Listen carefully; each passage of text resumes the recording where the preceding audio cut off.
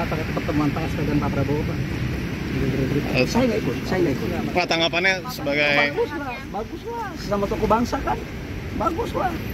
Bangsa ini kan nyaman kan, aman kan kalau seandainya sama elit tokoh-tokoh semua bisa duduk bareng, membicarakan dari se- secara baik terhadap penyelesaian-penyelesaian masalah bangsa. Mereka dua kan sahabat. Pak Prabowo sama Pak SP itu kan sahabatnya udah lama puluhan tahun. Ini apakah ada lampu lampu itu di pilpres lampu hijau pak? Ya pilihan politik itu kan dalam dalam rangka kompetisi, dalam rangka pertarungan pilpres. Begitu setelah hasil pilpres selesai, udah selesai.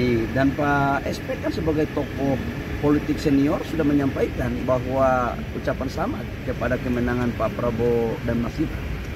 Tapi dari- dari- Nasdem akan merapat pak ya? Ah itu kewenangan hak mutlak dari eh, Pak Presiden terpilih. tapi dari tim dari tim sendiri me- membuka ruang untuk Nasdem bergabung? Pak, Pak Prabowo, Pak Prabowo kan selalu ngomong bahwa men- mengelola negara, mengurus negara ini tidak bisa eh, satu dua orang aja, membutuhkan eh, banyak komponen rakyat untuk membangun bangsa dan negara. Pak Prabowo akan bertemu dengan Pak Caimin. Gimana? Prabowo ketemu dengan Caimin. Ada nggak rencana pak?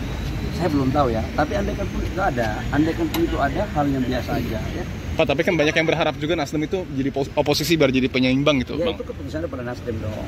Yang jelas Pak Prabowo selalu membuka me- apa, eh, tangan terbuka untuk bergandengan tangan dengan seluruh komponen bangsa termasuk Partai Nasdem. Ya. Pak, Cuman Pak, koalisi ada parpol kalau- yang akan gabung koalisinya apakah PKB atau Nasdem boleh dipastikan? Mungkin Pak Bayu tahu. Pertanyaannya kok meja banget. Atau lebih dekat ke siapa gitu, Bang? Ya, ya semua dekat kok. Insya Allah semuanya Tapi akan akan baik-baik. ada yang gabung berarti beneran ya? Feeling saya. Oh. Feeling Pak saya. mengenai bagi bagi ini Warnanya? juga pak. Hmm, warnanya sejuk ya. Ya, Hijau sejuk. atau coklat? Sejuk.